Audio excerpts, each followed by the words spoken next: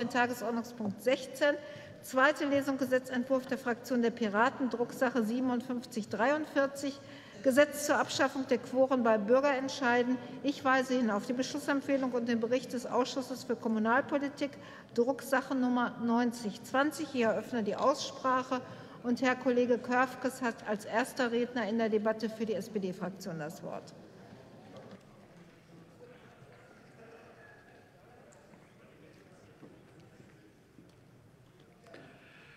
Frau Präsidentin, liebe Kolleginnen und Kollegen!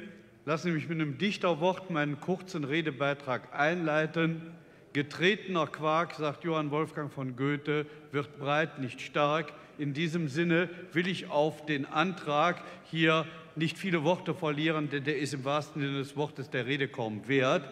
Wir haben als Sozialdemokratinnen und Sozialdemokraten, und das äh, ein uns mit vielen anderen Fraktionen hier, als Maßstab für kommunalpolitisches Handeln den Grundsatz der repräsentativen Demokratie. Plebiszitäre Elemente können diesen, äh, äh, dieses System der repräsentativen äh, Demokratie sinnvoll ergänzen.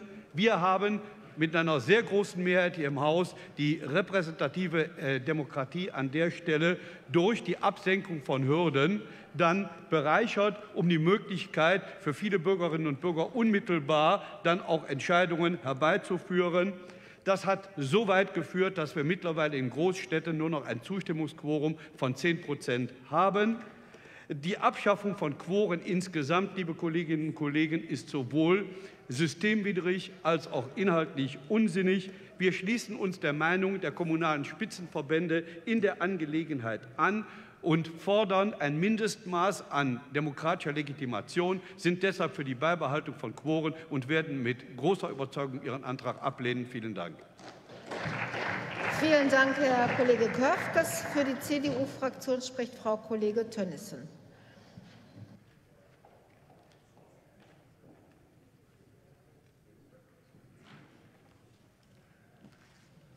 Sehr geehrte Frau Präsidentin, werte Kolleginnen und Kollegen, sehr geehrte Damen und Herren! Wir diskutieren erneut über den Bürgerentscheid als ein Instrument der direkten Demokratie auf kommunaler Ebene. Eine Sache verwundert allerdings hierbei. Herr Körfges hat es angesprochen. Vor wenigen Tagen erst haben wir nämlich die Handlungsempfehlungen der Arbeitsgruppe Kommunales Ehrenamt die übrigens eine interfraktionelle Arbeitsgruppe war, zur Kenntnis genommen. Auf der einen Seite will man das Ehrenamt stärken, auf der anderen Seite läuft der Gesetzentwurf darauf hinaus, dass Räte und Kreistage weniger zu entscheiden haben. Wie passt das zusammen? Wenn eigens eine Ehrenamtskommission eingerichtet wird, um die kommunalen Ehrenamtler zu stärken, wie kann man dann gleichzeitig ernsthaft dafür sein, Quoren bei Bürgerentscheiden abzuschaffen? Diese Abschaffung bedeutet ja eine Aufwertung von sogenannten direktdemokratischen Elementen, aber im direkten Gegensatz zum kommunalpolitischen Engagement. Ganz davon abgesehen würde plötzlich eine Klientelpolitik in ganz anderem Ausmaß möglich sein, als das jetzt der Fall ist. Und sehr kleine Minderheiten könnten plötzlich die Geschicke von Städten, Gemeinden und Landkreisen bestimmen. Im Extremfall, und das einfach mal zur Verdeutlichung, würde eine Aufhebung der Quoren dazu führen, dass einem Bürgerentscheid bereits dann entsprochen würde, wenn nur zwei Ja- und eine Nein-Stimme abgegeben würden. Denn der Einwohneranteil, dem diese Stimmen bei jetziger Regelung entsprechen müssen, spielt ja dabei überhaupt keine Rolle mehr. Das, meine Damen und Herren, kann erstens nicht wirklich in unserem Interesse sein, und wirft auch zweitens die Frage auf, welche demokratische Legitimation hieraus erwachsen soll. Die Abschaffung der Quoren bei Bürgerentscheiden ist nicht tragbar, und es geht hier schließlich um Entscheidungen, die im Zweifel auch Ratsentscheidungen ersetzen. Ganz davon abgesehen ist es auch fraglich, ob man Bürgerinnen und Bürgern zumuten kann, sich in eben oft sehr komplexe Sachverhalte so präzise einzuarbeiten, wie es ihre gewählten Vertreter tun müssen, um verantwortungsvolle Entscheidungen treffen zu können. Bürgerentscheide, das wissen Sie, sind meist auf Ja oder Nein Entscheidungen reduziert. Oft bleiben Details außen vor oder werden nicht in der Tiefe geklärt, in der man sie klären müsste. Die CDU-Fraktion will daher erstens, dass auch bei Bürgerentscheiden ein Mindestmaß an demokratischer Legitimation vorausgesetzt wird. Zweitens wollen wir die Räte und Kreistage nicht entmachten, sondern wir wollen sie stärken. Und dazu leistet dieser Gesetzentwurf keinen Beitrag. So sehen es im Übrigen auch, und auch das hat mein Vorredner schon gesagt, die kommunalen Spitzenverbände. Sie bewerten Ihr Ansinnen, liebe Kolleginnen und Kollegen der Piratenfraktion, als unter anderem nicht vereinbar mit dem geltenden Verfassungsgerecht mit dem geltenden Verfassungsrecht für die repräsentative Demokratie. Die kommunale Selbstverwaltung und die damit verbundene ehrenamtliche und hauptliche Arbeit der Bürgerinnen und Bürger sind ein zentraler Pfeiler für das Funktionieren unseres demokratisch verfassten Staatswesens. Das ist doch die Demokratie von unten nach oben. Und hier sollen nach unserer Auffassung auch die kommunalpolitisch Aktiven entsprechend die Entscheidungen treffen können und mitbestimmen. Die CDU-Fraktion wird heute daher diesen Gesetzentwurf ablehnen. Ich danke herzlich für Ihre Aufmerksamkeit. Vielen Dank, Frau Kollegin Tönnissen. Für die Fraktion Bündnis 90 Die Grünen spricht Herr Kollege Krüger.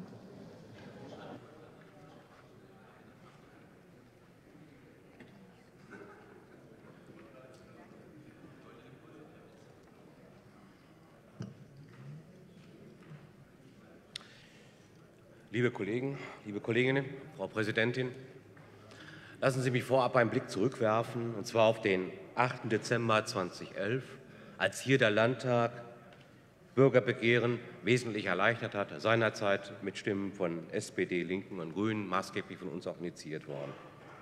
Wir haben seinerzeit die Erweiterung des Katalogs der Themen, über die ein Bürgerbegehren, ein Bürgerentscheid durchgeführt werden kann, erweitert, beispielsweise zum Bau von Einkaufszentren oder der Ausweisung von Gewerbegebieten. Der bisher geforderte Kostendeckungsvorschlag bis 2011 wurde durch eine Kostenschätzung ersetzt. Parallel dazu war dieser von der Verwaltung zu erarbeiten und damit war einer der häufigsten Gründe, die zu Unzulässigkeiten von Bürgerbegehren geführt hat, beseitigt. Wir haben parallel dazu die Koren bei Bürgerentscheiden abgesenkt Willi Körfkes hat schon gerade angesprochen, 10 Prozent für Städte ab 100.000 Einwohner, 15 Prozent für Städte ähm, zwischen 50 und 100.000 Einwohnern. Und insofern macht es mal Sinn, sich anzuschauen, was hat das denn eigentlich ausgemacht, eine kleine Bilanz zu ziehen. Und da gibt es eine nette Statistik. Mehr Demokratie veröffentlicht das regelmäßig, kann man im Internet nachsehen. Seit 2012 wurden insgesamt 70 Bürgerbegehren initiiert und davon sind sieben gescheitert an dem Quorum. Und man muss sich natürlich eins vor Augen halten. Wir greifen damit natürlich massiv in die Rechte des Rates ein. Und wenn dem Vorschlag der Piraten gefolgt wird, heißt das auch, das ist gerade von meiner Vorrednerin angesprochen worden, dass die Durchsetzung von Partikularinteressen wesentlich verstärkt werden kann. Und, meine Damen und Herren, Verfassungsrechtlich hätte eine solche Änderung wahrscheinlich keinen Bestand, wenn sie denn überprüft wird. So zumindest von mehreren Experten im Rahmen der Anhörung vorgetragen. Wir sehen von daher keine Veranlassung, hier eine entsprechende Änderung vorzunehmen. Ich glaube, dass wir mit den Veränderungen, die wir in 2011 vorgenommen haben, gut fahren, dass sich das bewährt hat. Und insofern ist dieser Gesetzentwurf hier von Seiten der Piratenfraktion vorgelegt worden, ist zurückzuweisen. Vielen Dank. Vielen Dank, Herr Kollege Krüger. Für die FDP spricht Herr Kollege Abutschat.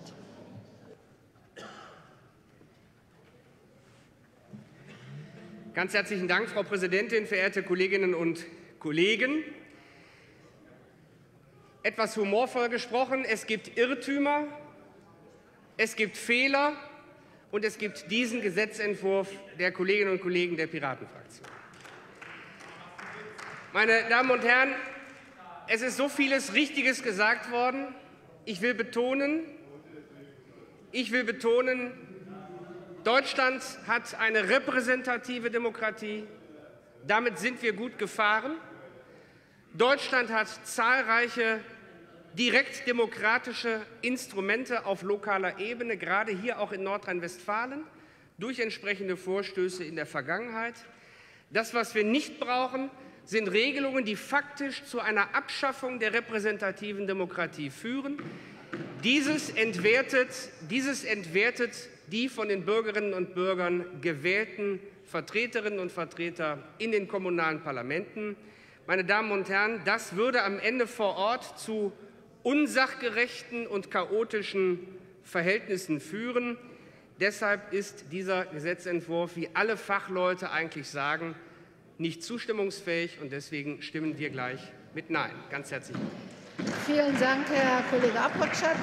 Für die Piraten spricht jetzt Herr Kollege Herrmann.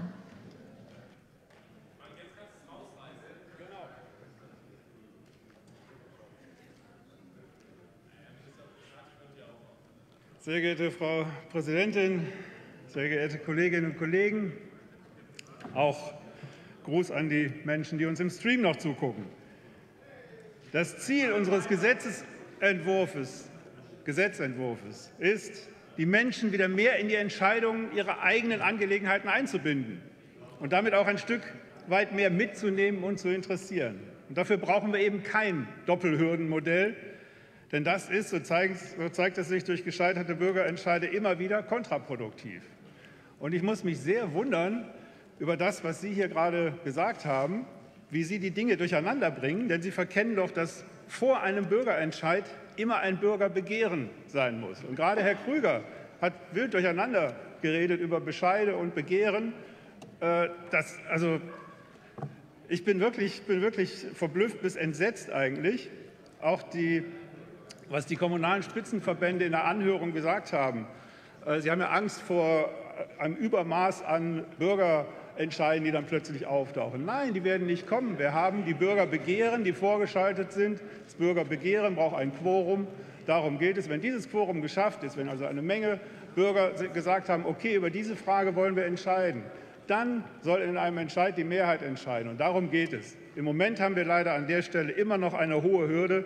Und deswegen gibt es zwar viele Bürgerbegehren, die erfolgreich waren, aber die danach folgenden Entscheide sind leider halt überhaupt nicht erfolgreich. Deswegen unser Gesetzentwurf. Wir haben die Anhörung durchgeführt.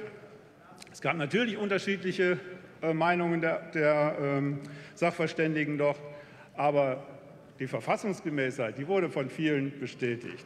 Ich möchte an der Stelle gerne einen Sachverständigen, Herrn Achelpöhler aus Münster, zitieren, der gesagt hat, ich zitiere mit Erlaubnis der Präsidentin, in gewisser Weise kann und sollte man auch den Bürgern vertrauen.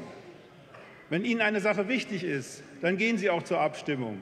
Und wenn sie ihnen weniger wichtig ist, dann gehen sie eben nicht hin. Mit dem Schreckensbild, dass in irgendeinem Stadtteil tatsächlich eine Straße umbenannt oder nicht umbenannt wird, auch wenn das nur 5,5 Prozent der Bevölkerung der Stadt wollen, kann man doch leben oder nicht. Ende des Zitats. Wir finden ja, denn die Bürger, die das angeht und interessiert, die werden sich halt auch beteiligen. Damit wäre ich wieder am Ausgangspunkt. Die Menschen mitnehmen in unserer Demokratie und für unsere Demokratie. Darum geht es hier. Wenn ein Bürgerbegehren erfolgreich war, also das nötige Quorum also erreicht wurde, dann sollte der anschließende Bürgerentscheid mit der Mehrheit der Stimmen entschieden werden. So erreicht man die Menschen, denn nur so hat die Stimme auch Gewicht. Insofern bitte ich nochmals um Zustimmung zu unserem Gesetzentwurf. Dankeschön. Vielen Dank, Herr Kollege Herrmann. Für die Landesregierung spricht erneut Herr Minister Kutschaty in Stellvertretung für Herrn Minister Jäger. Frau Präsidentin, meine Damen und Herren! Der vorliegende Gesetzentwurf behandelt ein Thema, mit dem wir sehr oft konfrontiert werden. Wir kriegen sehr häufig Eingaben von Bürgerinnen und Bürgern zur Frage der Quoren bei Bürgerentscheiden. Viele Bürger wenden sich an die Landesregierung auch, weil sie der Auffassung sind, dass die Quoren entweder zu hoch oder zu niedrig sind. Oft ist Hintergrund natürlich die eigene Unzufriedenheit am Abstimmungsergebnis, was dann tatsächlich auch Erfolg hatte oder auch gerade nicht Erfolg hatte. Ich glaube, wir haben deswegen in Nordrhein-Westfalen noch eine sehr gute, tragfähige Lösung gefunden. Durch die nach Größe der Kommunen gestaffelten Zustimmungsquoren bei Bürgerentscheiden ist gewährleistet, dass Bürgerentscheide auch realistische Erfolgschancen haben, aber auch, dass die Abstimmungserfolge von einer Mindestzahl der Abstimmungsberechtigten getragen werden. 2011 haben wir diese Quoren gesenkt und erstmalig auch gestaffelt.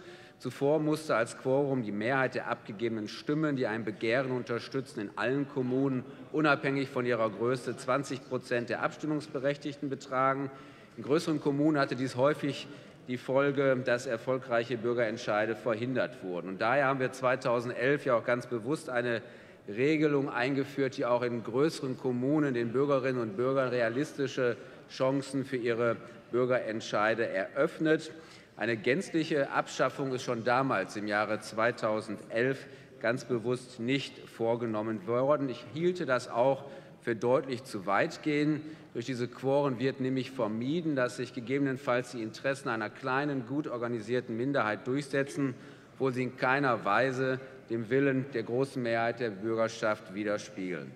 Dies wurde auch von den Experten in der Anhörung im Ausschuss für Kommunalpolitik so bekräftigt. Ein Mindestmaß an demokratischer Legitimation ist auch bei der Durchführung von Bürgerentscheiden zwingend erforderlich. Ein Bürgerentscheid ersetzt nämlich, Sie wissen es, auch unter Umständen einen Ratsbeschluss oder hebt einen solchen auf und bindet den Rat dann für die Dauer von zwei Jahren an diese Entscheidung. Ein Ratsbeschluss ist aber gleich in mehrfacher Hinsicht demokratisch legitimiert. Zunächst erfolgen demokratische Wahlen der Ratsmitglieder durch die Wählerschaft. Für einen Ratsbeschluss dann ist ferner Voraussetzung, dass der Rat in der konkreten Sitzung beschlussfähig ist, dass die konkrete Sachfrage bei der Entscheidung dann auch eine entsprechende Mehrheit findet. Würde man auf ein Quorum gänzlich verzichten, so könnte unter Umständen eine kleine Minderheit auf einem dieser Wege mehrheitlich einen gefassten Ratsbeschluss beseitigen. Ich bin daher der Auffassung, dass wir im Jahre 2011 hier eine gute Lösung gefunden haben, die es Bürgern ermöglicht, ihre Interessen einzubringen und durchzusetzen und gleichzeitig eine Lösung, die dafür Sorge trägt, dass Entscheidungen auch von einer Mindestzahl von Bürgern getragen werden. Liebe Piraten, ich glaube, auch das wird heute Abend nichts für Sie. Herzlichen Dank. Vielen Dank, Herr Minister. Liebe Kolleginnen und Kollegen, ich schließe an dieser Stelle die Aussprache zu Tagesordnungspunkt 16 und wir kommen zur Abstimmung. Der Ausschuss für Kommunalpolitik empfiehlt in Drucksache 9020 den Gesetzentwurf, über den wir debattiert haben, mit der Drucksachennummer 5743 abzulehnen. Wir kommen damit in der Abstimmung nicht über die Beschlussempfehlung, sondern wir kommen zur Abstimmung über den Gesetzentwurf selbst. Wer diesem Gesetzentwurf seine Zustimmung geben möchte, den bitte ich jetzt um das Handzeichen. Das sind die Piraten. Vielen Dank. Wer stimmt dagegen? SPD, Bündnis 90, die Grünen, CDU und FDP. Dankeschön. Möchte sich jemand enthalten? Das ist nicht der Fall. Dann ist mit dem festgestellten Abstimmungsergebnis der Gesetzentwurf Drucksache 5743 in zweiter Lesung abgelehnt. Wir sind am Ende der heutigen Tagesordnung. Ich schließe damit das Plenum und berufe es gleichzeitig wieder ein für morgen, Freitag, den 26. Juni, 10 Uhr. Ich wünsche Ihnen allen einen angenehmen und wie es aussieht noch relativ